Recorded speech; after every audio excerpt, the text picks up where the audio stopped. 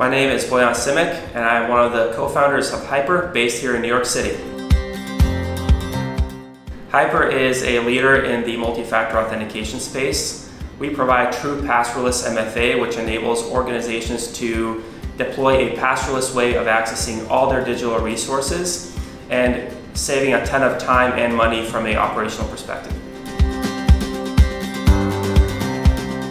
Our primary value proposition is twofold we provide a significantly better user experience when authenticating users, and we help organizations save a ton of money and lower their risk from a security perspective. So when companies choose to work with HYPR, their employees, their consumers no longer have to type in a password to access any of their resources. This helps them save money because they no longer have to worry about those pesky password reset requests it helps them from a security perspective because HYPR doesn't rely on any passwords or any sort of shared secrets, which means people cannot be tricked into providing a password. They cannot be phished into providing a credential, which protects the organization and enables trust. With HYPR's true passwordless approach, we put the hackers into a position where they can no longer target a central database of usernames and passwords. Instead, they have to go device by device by device, which increases the barrier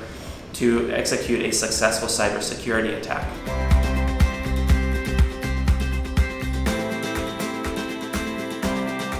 Our product integrates with Azure Active Directory today in two primary ways.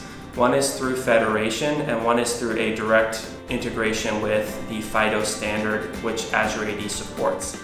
Azure Active Directory customers can configure it to work with HYPR by redirecting to our product to do the multi-factor authentication into the user's laptop, desktop, and then subsequently into any web-based resources.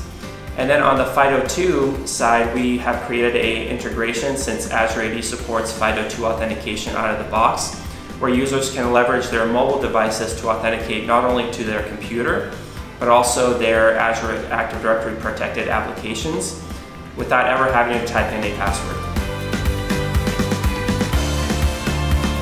In order to get started with HYPR and Azure Active Directory, all you need is a Azure AD subscription and a subscription to HYPR.